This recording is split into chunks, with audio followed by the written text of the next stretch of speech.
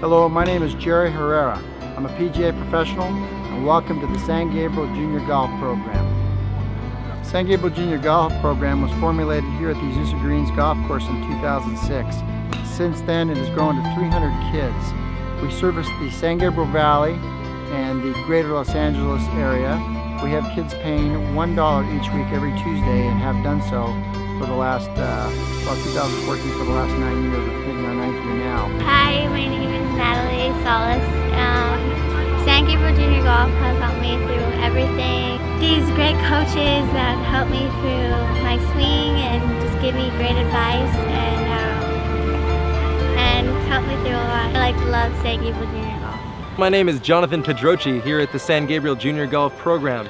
I love this program. I've been with it for a couple of months now. I'm their physical fitness instructor and I help out the golf class warm up before they do their lessons. Uh, I think it's a great program and I think it really helps people with their courtesy and integrity and perseverance and self-control and it helps to have an indomitable spirit. I've been with this program for about two, three years. Um, this program has helped me out a lot with my golf game with, and also with just being a good human being. Um, uh, I'd just like to say thanks to Jerry and all of them here for just making this such a great program.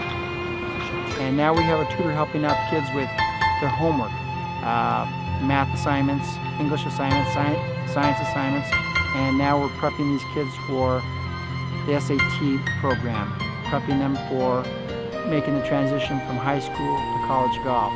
This is something that has been a goal of Lizette Salas. Lizette Salas is on the LPGA tour that grew up here at this at this uh, golf facility and went on to play golf at the U USC, University of Southern California, and moved on to the LPGA tour, which is now since won her first LPGA event and former Solheim Cup player. The program has uh, given my son Jonathan a place to grow within the game of golf. Team play has brought out a sense of teamwork as well as a level of competitiveness that can only benefit him in the future.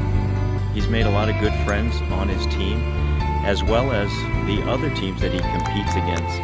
And I guess that's what Jerry really wanted. He wanted a place where kids can grow in the game of golf and grow in the future.